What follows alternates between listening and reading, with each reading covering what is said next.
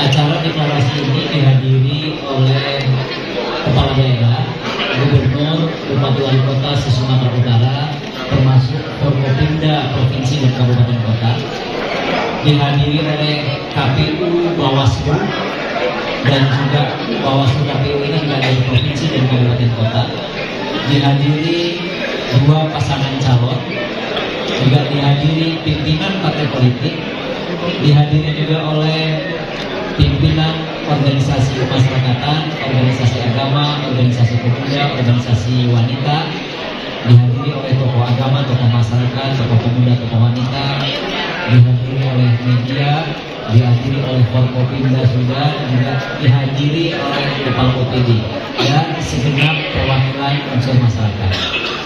Deklarasi ini sebagai wujud komitmen kita bersama, tekad kita bersama untuk bisa melaksanakan pilkada di Sumatera Utara dengan aman, damai, lancar dan sukses.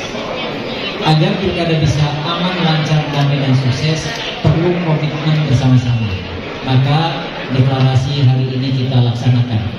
Dan ini juga kita akan teruskan, kita akan mengajak kepada seluruh elemen, seluruh komponen, seluruh stakeholder yang ada di Sumatera Utara untuk bisa menjaga bersama-sama pilkada ini aman, termasuk damai dan tentu sukses dan lancar. Kita menghimbau untuk menghindari pertikaian, menghindari pertengkaran, menghindari berita-berita hoax, berita adu ujaran kebencian, dan kita akan terus bersama-sama untuk menciptakan iklim yang harmonis, iklim yang kondusif, agar pilkada bisa berlangsung sesuai dengan harapan kita. Pilkada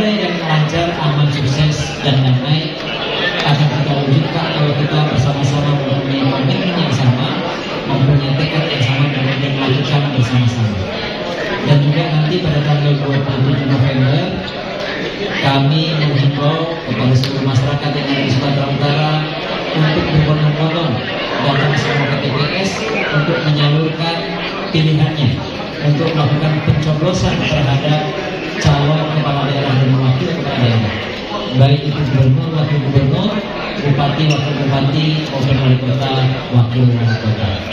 Jangan sia-siakan kesempatan yang hanya terjadi lima tahun sekali ini. Mari kita gunakan hak pilih kita untuk bisa memilih pemimpin-pemimpin harapan